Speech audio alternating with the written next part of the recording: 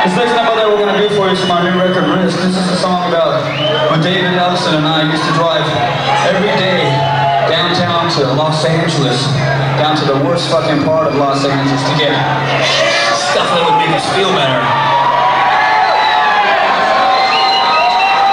And this is about the poor slobs we saw